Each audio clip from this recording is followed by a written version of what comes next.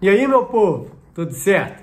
É, vocês votaram e a seleção da oitava rodada da Série C tá no jeito, tá pronta. Vamos conferir como que ficou. Piani Sola no gol. Goleiro da América de Natal realmente fez boas defesas. Lateral direita, Lucas Marques do Remo. A nossa zaga ficou com Jean Pierre do América de Natal, realmente fez um bom jogo, fez um jogo seguro.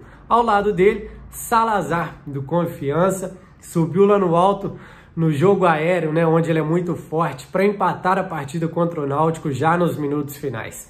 Tito no lado esquerdo, na lateral esquerda, jogador do Ipiranga, de volante, Jimenez do Amazonas. Esse volante paraguaio tem sido um dos destaques da equipe. Mais à frente, como meio-campista, Rodriguinho do Remo. Ao lado dele, Souza do Náutico. No empate contra o Confiança 2 a 2 os dois gols foram de Souza e que dois golaços, né, cara? Souza é especialista em bola parada, tem feito uma boa Série C com sua experiência, com a sua qualidade, joga muita bola.